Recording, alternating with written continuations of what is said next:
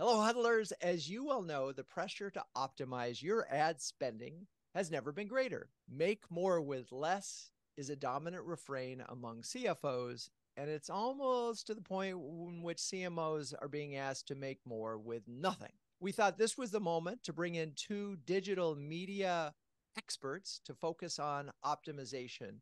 We'll start with one on ones with each and then bring them together to answer more questions of my questions and your questions. So, first up, Josh Muskin, VP of Sales and Marketing at WebMechanix. With 12 years in B2B marketing, Josh has advised hundreds of marketing leaders from startups to Fortune 500s. He's also a husband, father, likes to run a lot. Currently, he's working on breaking his personal record of solving a Rubik's Cube in less than 38 seconds. And we're going to hold him to that. Good. Bring it. We're going to have that contest later, maybe after the moment. Okay. So, welcome, Josh. How are you and where are you this fine day? Uh, I'm great. I'm calling in from just outside of Baltimore. All righty. Love Baltimore. So cool. Okay. You mentioned in a prep call that you know some pretty big macro issues are negatively affecting digital media performance can you walk us through those um, real quick sure the biggest one we've seen over the last what's coming up on four or five years now is right before covid all the major ad platforms mainly google meta and uh, to an extent linkedin they all lost significant privacy lawsuits to the tune of several billion dollars. And they lost them because it became too easy to target a very very narrow subset of people uh, males 35 who like football have one dog two kids and live in the zip code. Like people didn't like that and so that's why they were losing and the reaction is twofold. One they make 90% of all their money from ads right? So they have to keep that but they don't want to get sued again. So they have started to make targeting significantly more vague and more difficult to get to. And you, the way that you see this coming true is people are saying hey my search ads don't work anymore like they did in 2018 or 2019 we, we have to go find a new platform. We haven't changed the targeting. We haven't changed the keywords you know as an example. And if you use google as an example by themselves they used to have a way to target exactly a phrase an exact match keyword you have to type these three words in, in this order and this spelling and now they're like well if they kind of meant that or they spelled it wrong or it's pretty related like we'll serve an ad to them too Facebook and others have their own version of this. So the the targeting that used to be very cute is becoming much more broad and it's putting a lot more emphasis on things like data and creative to make the difference instead. Yeah, and and so I mean the whole magic of Google was targeting, right? I yeah. mean that was why and search engine SEM used to be the most reliable and it's like you keep spending on SEM until you can't spend another dollar cost effectively, right? So I'm imagining two things. One, either spending has gone down or clever folks have figured out how to sort of workarounds, you know, and whether it's, uh, and so how should marketers be rethinking their targeting and media buys? There's a significant emphasis now, more so than ever, on really the data part. The data meaning like what events are you telling Google to go get you more of? Historically, people would say, hey, someone filled out my demo form. Please go find more people to fill out my demo form. And to an extent, that's largely still true. But there is uh, added importance to say, hey, if you have a campaign on Google, for example, that you want people to fill out a demo form, it should only be looking at people that have filled out a demo form before, not people that have filled out ebooks and white papers and webinars. And similar, if you're doing content marketing, it should be targeting only events that are people downloading white papers, ebooks, and webinars, kind of matching the event to the intention of the campaign.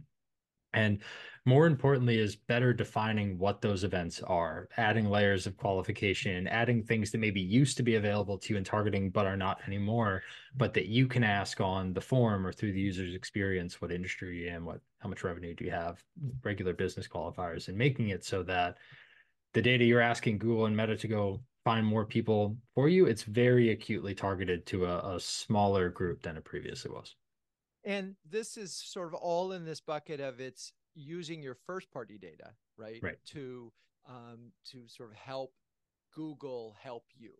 Mm-hmm. So, but I want to I want to make sure that I understand this because the big challenge for folks on all of this is downstream you know we what are we optimizing for right in that so it you, you know demos is a great example we're optimizing for folks who who fill out a you know request a demo what and that that seems like a, a good thing and so go find those people that look like this person, right? But what else can you do at that point? Because we know that. But I, I, guess I'm trying to sort of get at this sort of this optimization challenge that you must face all the time with your customers, which is I got one thing, I got a form fill here, I could optimize for that, but those people don't close. So mm-hmm. what how, how is that um, changing, evolving, getting better?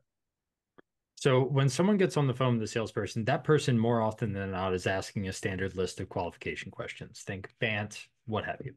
And every business has several things that really make someone qualified, but there's usually one thing that is the most binary. We can work with you, we can't work with you.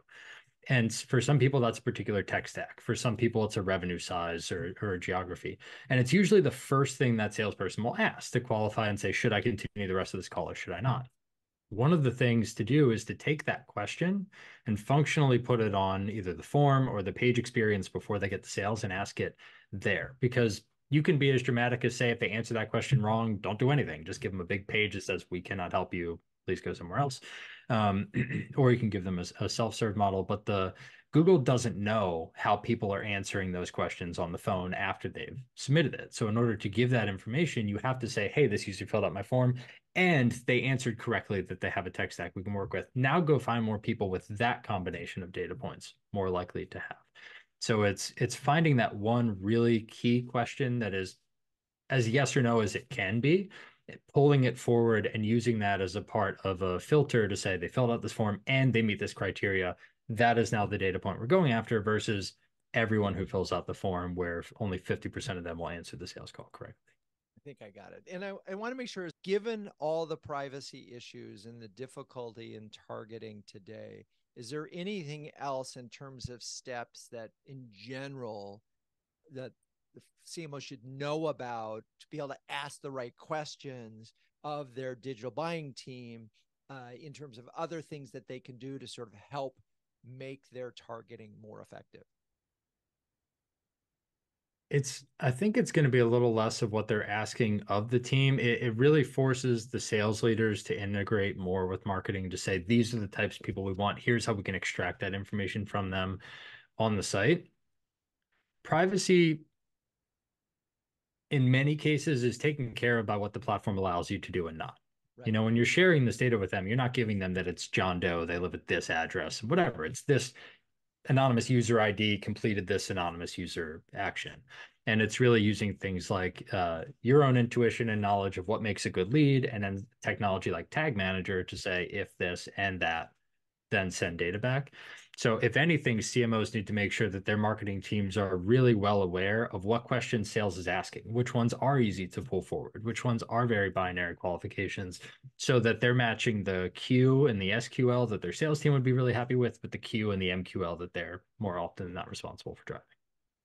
Got it. I think. Okay, so let's make this real. Give us an example of what this looks like in action. Maybe a yep. case history. Yep. So uh, we have a client. They previously were called Widen. They're now called Acquia. They were bought and merged together.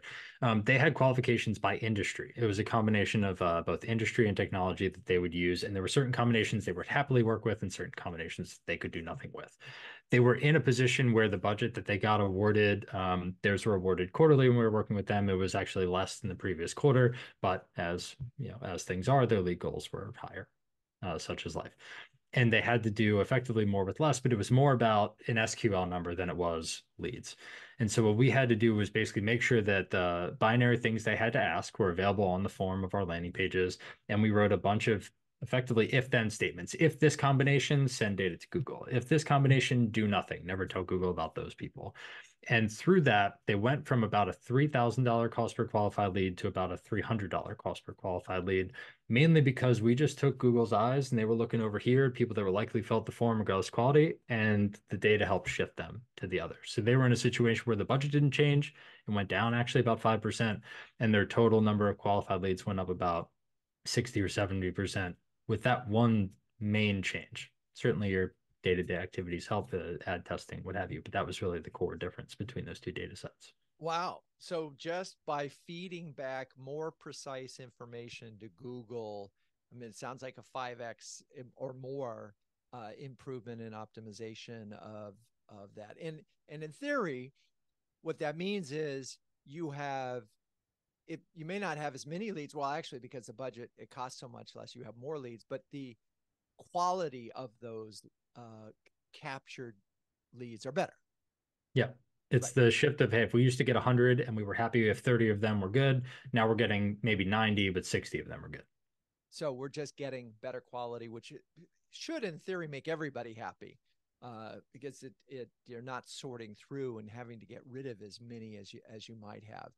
Yeah, the so, sales team doesn't shake its fist at marketing yes, too exactly. often anymore. Marketing. Um, so what we're talking about here is what we call better demand capture. And we sort of distinguish, and we talk about this a lot in huddles where, you know, there's demand creation, which is the 95% of the people who are probably not in the market today, but we could do things that would help them uh, think about us when they are in the market. And then there's capture.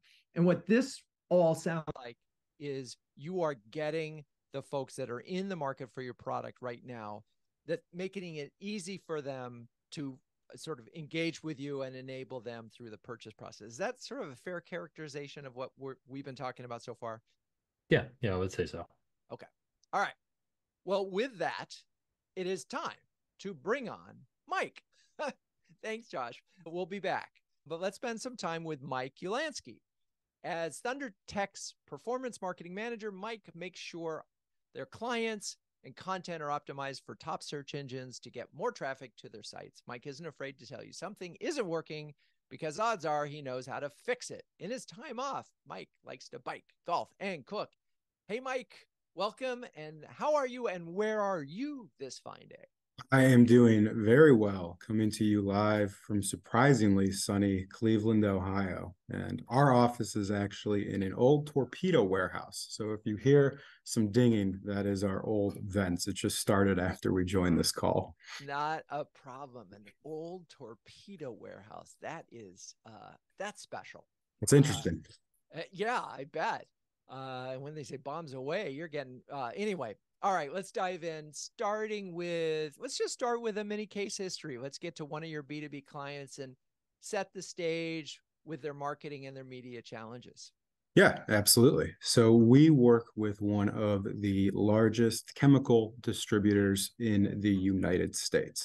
They have, I'd say, thousands of different products in tens, 20s different verticals, right? So, very wide product offering, a lot of nuances to all of their products because they are specialty chemicals, right? What we found is that your average chemist or your average procurement specialist isn't going on to Google and typing in industrial lubricants for XYZ application, right? So the traditional digital methods of reaching these target customers was a little bit of a mystery to the organization. So, as far as their challenges, right, it is how do we reach this customer who is not in a place that your average digital means would reach this customer? How do we know that our advertising is effective? How do we know that we're reaching the right people, right? You can set up a campaign targeting some audience that may seem very, very much related to the person that you're going after, right? If I go on to one of our platforms and I find an audience that is someone in the chemical industry, right? 80% of that audience could be a customer service representative, or it could be a salesperson who isn't the end user, the end buyer of our product. So there is a lot of unknowns in this particular client's uh, landscape, and it is very, very difficult to get to that specific niche person that we want to reach, right? It's finding a needle in a very, very large haystack. And so talk a little bit about the process that you went through and how, how you got to um, these hard to reach people. Yeah, absolutely. So, given the situation with the, let's call it non-standard way of reaching these people right they're not on google they're not looking for education because they are already leaders in our field we looked to linkedin and taking a very very targeted account-based marketing approach with linkedin when it comes to B2B advertising, I often recommend LinkedIn the most to the many clients that we work with. One, for its effectiveness of reaching B2B professionals. But for me, I think more importantly is the data that I get back from a LinkedIn campaign. So you can set up a LinkedIn campaign targeting specific industries, targeting specific job titles, targeting a list of 250 companies that are in your industry. And while that is all good and well at the top level, what I really like to see is who and where and why are those people clicking and engaging with our ads if I set up a campaign within LinkedIn and I'm targeting 50 companies at a top level, right? These are the 50 companies that sales gave us that are good prospects. I run a small test campaign in LinkedIn, right? And I find out that at that high level, that audience that engaged with our ads or at least got impressions, right? 80% of that is those customer service representatives or the salespeople that we're not looking to reach. So that leads me to take a very iterative approach with our LinkedIn advertising because one by one, I can start peeling out these different members of this cohort who, again, high level may have seemed good on paper, but at the end of the day, aren't the people that are ultimately converting. So, with all of that, we had, I believe, three or four iterations of this campaign, peeling back all of those different elements and those factors, getting down to the chemist, getting down to the procurement specialist, tying that all together and when you're talking about a company that has maybe a six to 12 month sales cycle in a very, what I would call unsexy industry like chemicals, being able to tie an actual completed offer all the way back up to a single LinkedIn ad, right? We probably run 16 different variations at a time so that we know what is working with messaging, what is working with creative. To me, getting that full funnel attribution as a result of that iterative approach really makes the campaign a success. Cool and great overview. And I want to break it down into a lot of different pieces here. Uh, the first thing that I heard was that you start out with this large pool, you test yourself all the way down to the folks that seem to be exactly the bullseye for you, and you can get there through testing. One of the experiences that we've had is that as you narrow your LinkedIn audience, the costs go up. And so, obviously, in theory, that's because they're more valuable and it's just a smaller audience. But it, I'm imagining that is the case for you, right? That the cost per whatever, however you do it. And I want to get to that. But so, first, just confirm that the costs go up, right? Yeah, absolutely. And that is, I think, when it comes to this type of approach and this type of advertising, one of the biggest things that a client is quick to point out well, our costs went up. Well, yes, you're targeting a much more refined pool than you know your larger group right? And i think one thing that i would tell all of these clients is that if you're just looking at costs going up or down there's way more to the story. And that context is extremely important for that cost. Yes your costs are going up but you're actually getting more leads for less in the long run because you are reaching more of the right people than wasting money on reaching people who would never convert in the first place. And so, yeah, it's a big emphasis on quality. I think this sort of next question is you know there are a lot of different options with with linkedin you know there's form fills right there there's you know and you can buy based on reach you can buy by click through. There's a lot of options. In this particular case, uh, where were what were you optimizing for? So we were optimizing for landing page conversions, right? You mentioned the on LinkedIn form fill, and we did try that out for a while. I think the biggest problem we found with that is when a user clicks an ad on LinkedIn and they get a form right on LinkedIn, you are not able to really control the narrative, right? There's a lot more information and education that is needed in this type of conversion. And when you are not able to send users to a landing page and provide that information to them, they are very hard pressed to immediately give you their information on a form on LinkedIn. Okay, so we're optimizing for a landing page. I'm imagining you can test. You're also optimizing the landing page itself, right? Uh, because you know the let's face it, we all hate gated pages uh, and just hate them. And you know, you also see this sort of inverse relationship between the more you ask for, the less people fill out. You know, the less likely you capture people.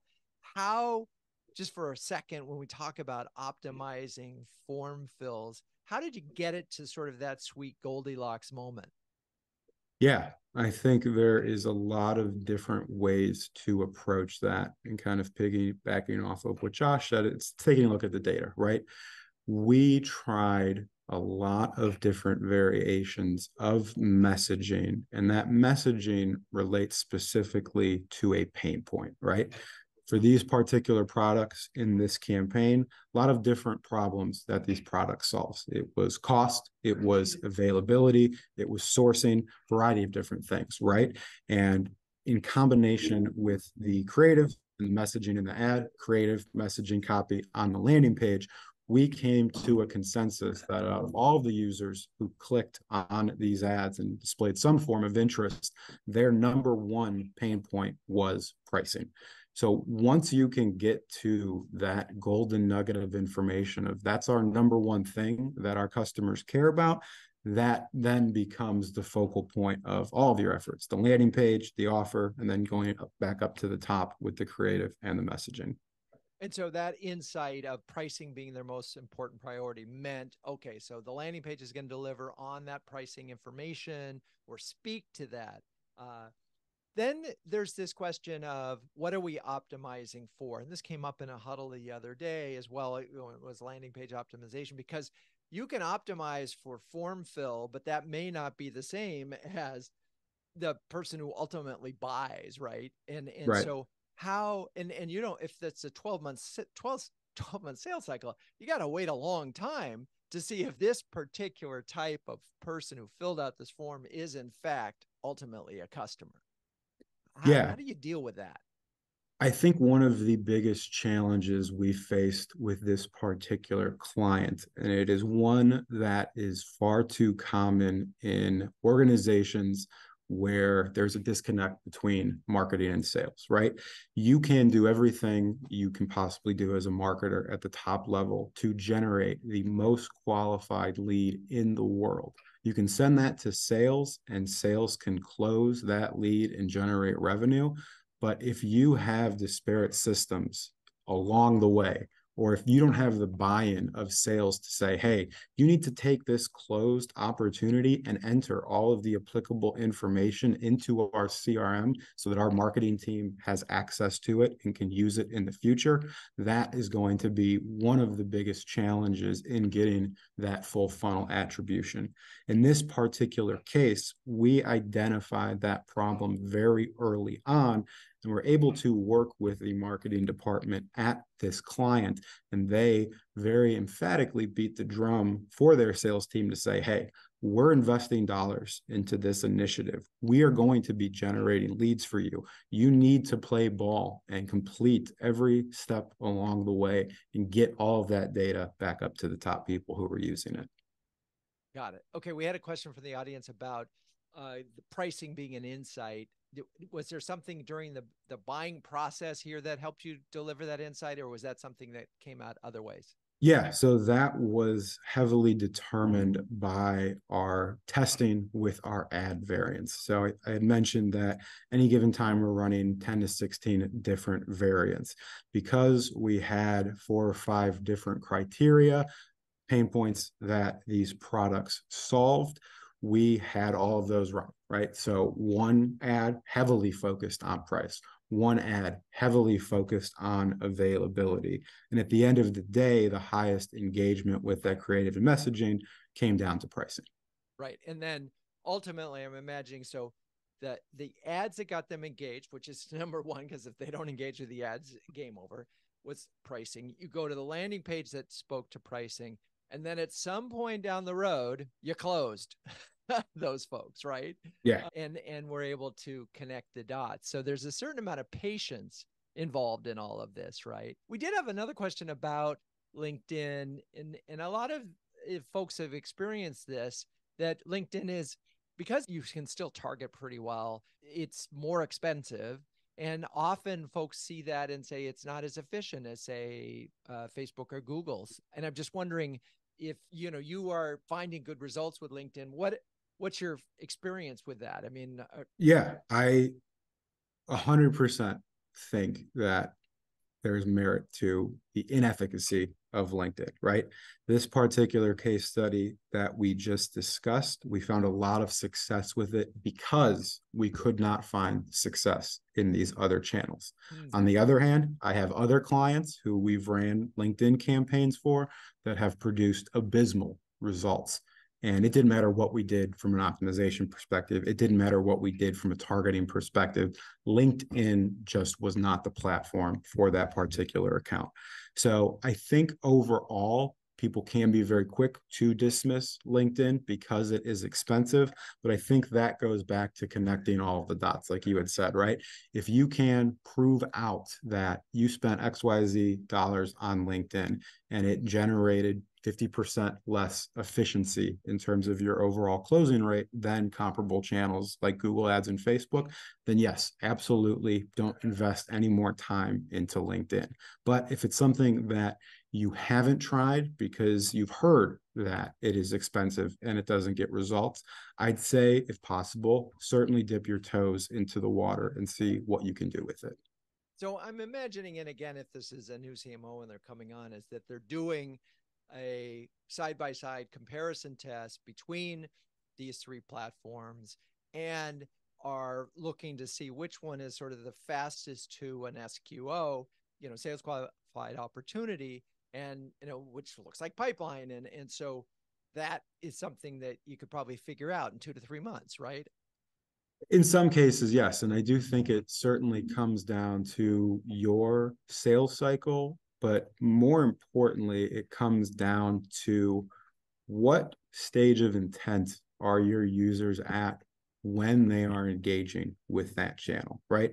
If you were to say that LinkedIn had a higher cost, wasn't effective, and Google's delivering a much, much higher rate of conversion at a higher ROI, at ground level, sure, that makes sense. But the user who is potentially seeing an ad on LinkedIn could very well still be in the awareness stage versus someone on Google is at the maybe stage ready to buy, right? So naturally, your Google ads are going to look like they are doing better, but that's because the users in that platform are at a different stage in the cycle.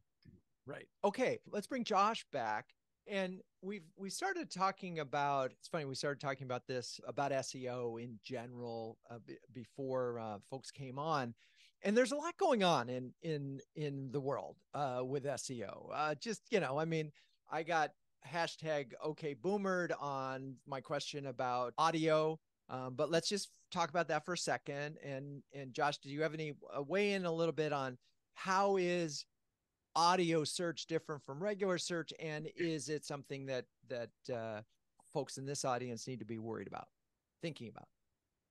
It, i think it's less about the format of it being audio and more about how the data is being presented so if you think about audio search it's most commonly used with like a google home device or uh, some comparative thing how do i make this recipe what's the weather going to be like tomorrow you get an answer what you don't get what you would get with traditional online search are options that you can choose from by which to derive your own answer.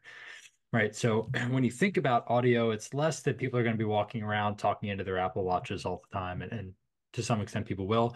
But if you look at how ChatGPT and how the uh, search generative experience or SGE from Google are starting to present answers in AI, they're answering them kind of in the same format that you would get from audio. It's here's the answer, not here are ways to get your answer. And you can see this in many different places. You can also see do any search on Google right now. You see this like people also ask thing pop up. It's got a bunch of different questions. You can drop them all down.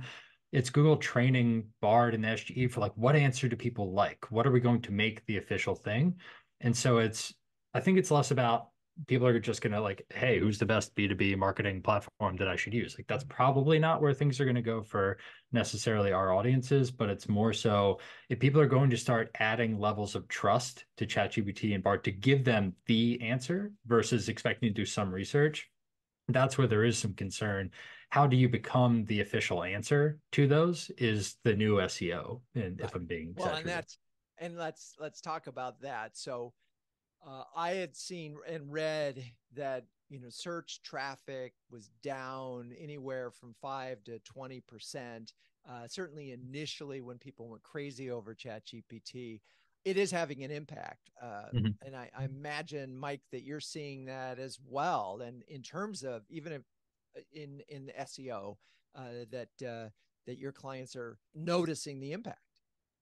Yeah, uh, in a roundabout way, I would say that the SERP is a mess right now. So, not only if you're talking about organic specifically, are you competing with multiple ads, but you're competing with all of the features that Google has added over time.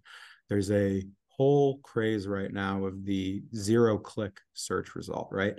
So someone searches for something on Google. Historically, if you showed up number one, they'd come to your site and they would get the answer. Now they can get that answer just on the SERP because Google is crawling and pulling that information and adding it into their own form or their own little knowledge base icon, right? So the competition and the necessity to be higher up on the SERP, I think, is at an all time high right now. Totally agree. Yeah, no, I'm just thinking about my own uh, personal search at this time of the year, which is for a new, a, a perfect holiday punch. And I noticed that instead of giving me top 10 they did give they gave me a recipe for a perfect holiday punch. I mean yeah. that, and again that's a very specific example of what's going on there. And so all of those sites whether it was gourmet magazine or whatever just lost traffic. So that's that's a big deal. And and what are you advising your clients to do to fight this? Uh, because if in fact your content is even content that might have been ranked in you know certainly first page content is no longer getting clicked that's mm-hmm. a lot of site traffic and inbound that you lose. Josh so what's a what's the answer here or or what's a band-aid? There there's a, a broad answer that's more strategic and then a very tactical one. The broader one i heard someone describe this the other day and i really liked it. It used to be we have to write content about all the keywords people might search about us that was like the SEO content strategy, just cover them all, page for each. And now it's we have to cover all the different conversational angles that somebody could have about our product or our service. And so in many cases it's it's similar, but it's more of like, hey, if we were going to talk to someone about our software for 30 minutes, do we have content that answers all of their questions? Not that answers all the queries that they may have started with. So from a, a, strategic standpoint, I think that's a really interesting thought process to go through. And then at the tactical level, the thing that is very acutely obvious is the people also ask answers, the citations that are given within the SGE experience, even though it's giving you an answer, will tell you generally where it came from. And answers we've gotten uh, from ChatGPT about where it sources its information, it all rolls back to having schema associated with pages in a meaningful way. So having a lot more content organized as Q&A content or FAQ content, or at least within a page saying this headline is a question, this paragraph is an answer, starts to a give you access to some of the stuff that's valuable in the SERP now, some of those zero click experiences that Mike was talking about, uh, the more traditional ways to get more more opportunities to be clicked on in search. But it also all, all the data and research we've done alludes to the fact that these platforms, Bard, ChatGPT, the SGE experience, they're all going to start filtering content down to who has the schema that says they have an answer to a question, and then let's sift through that content to pick the right one. When we get analytics, certainly we'll know more, but if you're not using schema or considering it in the content that you're writing, yesterday is the time to start. Yeah, I 100% agree with that. And in terms of using the SERP itself and almost reverse engineering it, if you are in a highly competitive or, or your pages that you're trying to rank for are in a highly competitive niche, right? Google almost gives you the keys to the castle with the first 10 results, right? Anytime that I am doing keyword research, I am looking at results one through 10, and 99% of the time, each one of those results has some piece of information that the other nine don't have. So when you're talking about how to show up above all 10 of those other results, I kind of like to use their information against them. If I can aggregate all of that information that Google has deemed valuable in separate destinations and put that into one place, I have seen that strategy win almost every time. Interesting. Josh, we need to go back to what you mean by schema and just yep. be clear what that is. Of course. So I'm gonna share in this chat the uh, maybe the world's ugliest website. This is like the official schema site that defines all the different um, code and the variables and the options. It's effectively a, a coding script, usually in in JSON format. That uh, there are many different categories where schema could apply. Things like products, events. Um, like if you search for a concert, you'll see results where like the event uh, dates and times and locations are listed beneath it's a it's essentially a um, it's not html or css but it's an equivalent to tell google and bing and whomever that my content is in this format i'm talking about a product i'm talking about an event i'm talking about a q&a i'm talking about an faq and so there there is significant ease of using chatgpt for example saying hey here's my url and all the content please write the faq schema for me and it will. But it is a piece of code that has to be put uh, either onto the page or in the back end of the website. There are plugins for WordPress and others that allow you to just kind of paste it in. So it's slightly technical in nature, but it's effectively a coding language that say, this is my content, but this is what it's formatted. And power tip just today, you know, I imagine you're going to put your URL into ChatGPT and you're going to say, tell me all the schemas I need for this website. And it's going to shoot something out. Is that right? Yeah, I would see the query is as simple as uh, you know, pasting the content of the URL and saying write schema for this URL and, and you put that in there and it will give you a coding block in in response. Love it. Power tip, folks. Uh, that that's one.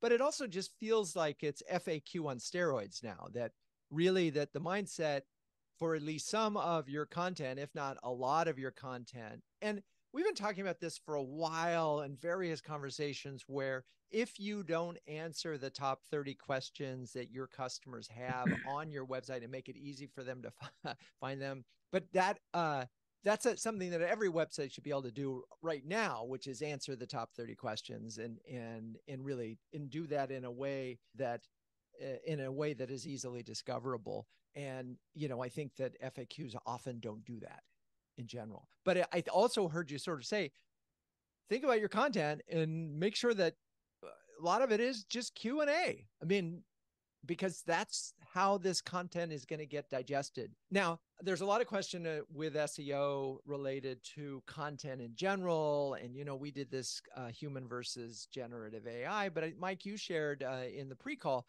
that you've got at least one example where someone did 100% Gen AI content and they got number one ranking for it. Yeah. Talk a little yeah. bit about that. It's pretty wild, and it's understandable why content writers are maybe fearing for their employment given the evolution of ChatGPT. And what I will say is that, yes, generative AI and any content written by AI can be scary. And it certainly can be scary if you're an organization. If anyone heard about Sports Illustrated, they had an entire entire article written in AI. And I believe their CMO or, or someone comparable resigned, right? So people think it's something that you could just enter into ChatGPT, you're going to get a piece of content and rank number one. That is not the case. In reality, you need a intelligent strategist who understands what the end user is looking for. Going back to the point of it's conversations, right? It's any conversation that could be had around a particular query, right? And AI can write that information, but it's up to the human to arrange that information in a way that makes sense, to make sure that the page is formatted I have a pretty standard SEO checklist that I use for any of the content that I write. FAQs, always one of them. Table of contents, always one of them. All of those little things that AI is not necessarily going to do from you for you from scratch. That's where the human element comes in. And when you combine the two, the human and the AI, that is how you can rank number one with at its core AI content. Yeah, as as you're talking, a power move number two out of this uh, call is go on ChatGPT and say, what are the top 30 questions that buyers in my industry are going to be asking me? Yep. Uh, and then ask it to write the answers to those questions uh, and then see how how your website does in answering them and you could even be more specific if if you dare which is what are they what are the top 30 questions that companies you know what are they asking your competitors when what might they be asking you but you can sort of get this land uh, mm-hmm. i did hear one thing that i do want to share which ai stands for average intelligence and so be ready uh, to recognize that that that you're getting the average of the internet of all knowledge um, yeah. but i think that again if we're rethinking how we think about our website content and we're thinking about conversations and, and q and a's these tools can be unbelievably helpful when you're when you're doing this um, so uh, one of the things that we haven't talked about at all, and I just want to sort of, since you're both at agencies and you can defend this case, and I know that a lot of uh, CMOs in our community, they're they're they've got buying teams and they do the stuff directly because certainly Google and uh, LinkedIn make it seem like it's easy. Uh, why should they hire an agency? Uh, and uh, Josh, why don't you go first on this one? it i think for us it's two major categories it's um, breadth and width of knowledge like you're going to get teams that have worked across 50 60 or even hundreds of accounts depending on how long they've been there and so in many cases there's a trigger that i've seen this before in a similar industry similar client here's how we got out of it that time or here's how we took advantage of it that time you don't always get that with uh, with one person who just knows what they know when you're getting the mind share of multiple people in multiple industries and then the excuse me the other is depth of knowledge. Uh, oftentimes, when we've worked with in-house teams, they've got one person responsible for all of the ad platforms, or one person responsible for all of demand gen, and you can only go so deep in that, right? The things are being released in each platform every day, every week, and then oftentimes to take advantage of them, you need a good media buyer, a good creative, someone technical that understands the APIs that are available to them. That's a very expensive thing to build in-house at a significant level of competency that a strong agency should have leaders in all those departments and know how those things should can and should work together and how to take advantage of them quickly. Mike, uh, any additional thoughts on on that? Yeah, Josh had mentioned the depth of knowledge and the breadth of knowledge, right? I think for us specifically is the collective nature of that knowledge, right? Oftentimes we will have clients who come to us and say, Hey, what are you seeing with other clients? who are engaged in a similar campaign like this or what is or isn't working for other clients in this industry or in this category that you're working with? And having access to that information having access to that data oftentimes is extremely valuable to the original client that you're working with. And you know i think there's another part of this. One is chances are uh, you know if you're doing it in house you, you may or may not be as efficient. You just don't know what you don't know. And so there's that part of it and two you may be able to do it in house but it may just take you longer because you don't you know you're you're sort of figuring it out as you as you go along um, and these you know these companies out there that the agencies do it this is their business this is what they do so in theory uh, at least they they would be uh, ultimately more it'd be more cost effective for you to do it that way. So, all right. So we're talking about expertise and, and cost effectiveness. Got it. So, all right. Let's start with Mike. Please give two tips for CMOs on how they can optimize their digital media spending. Absolutely. So, tip number one, pretty short and simple. Anywhere, any chance you can one-to-one messaging, right? Starting at the top level, making sure that your ad copy is aligned as much as possible to the user's intent or the user's pain point. After that, making sure the destination that they are going to after clicking an ad or engaging with your brand 100% matches the mm-hmm. ad and the creative that you promised them taking it down the line, right? Making sure that your offer on that landing page and the subsequent process after that is 100% aligned with that initial intent, right? Understanding your user. Second part is somewhat of a segue from that.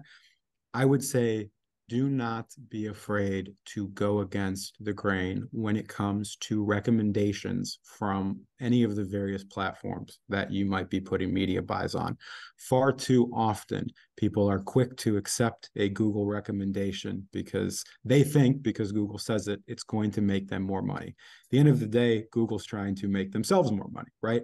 And despite what they may say, nobody knows your user better than you. So if Google's telling you something that doesn't align with your user's intent, don't listen to it just because you think you have to. Got it. Okay. So I, what I really was, what I just want to emphasize and put a punctuation point on is you got you've you've narrowed your target because you know these are the folks that look like your past buyers you've really done a great job of targeting the thing but where i often see it fall apart is that you haven't brought it all the way through and if you're doing one-on-one messaging you know, here's the other thing is you can use these tools, these generative AI tools to um, both look at your landing page and see if they're optimized, but they can also help you generate them. So uh, this one-on-one uh, notion is really powerful. So thank you for that, Mike. Okay, Josh, your turn. Two tips for CMOs on how they could optimize their digital media spending right now. First one is to take the entire digital media program that you have and measure it from traffic and cost all the way through to revenue. If you don't have that reporting set up or capable, make it so. Because the biggest leverage point we've seen for the last 18 months is the gap between either lead and qualified lead or MQL and SQL. That drop off percentage is the single biggest opportunity that you have, more so than extra volume at the top, more so than ACV. Increasing that qualification is going to make everything easier uh, and more valuable. And the second one, which can often be uncomfortable, is shifting the measurement and holding accountable both to the teams, the platforms, and the programs that you're running to the cost per qualified thing, the SQL, the qualified lead. There's too often that it's like, yay, we got all the MQLs at the top. It's awesome. But then, you know, one sale and then it everyone's generally upset about it. Shift everything from what the platforms look at to what you report on to what your team reports back to you down a step in the funnel and some of that MQL to SQL qualification challenge will solve itself.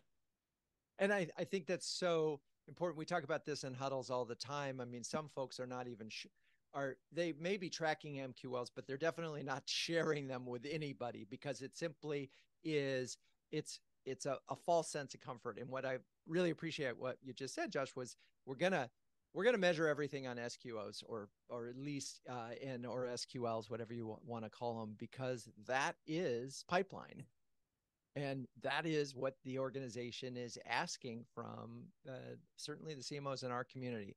Okay, um, before we wrap up, we have one last second question, which is. How critical are response times for the leads you generate, and what is a good metric to strive for? The this is one of those where more is always better, faster is always better. I saw a data point yesterday. If you can reply to a lead in under three minutes, you have a 700% increased chance not only in getting them on the phone, but moving them to the next step. Certainly, that's not always possible with the size of teams, but if you can be under 30 minutes, that is significantly better than an hour or, God forbid, next day or next week.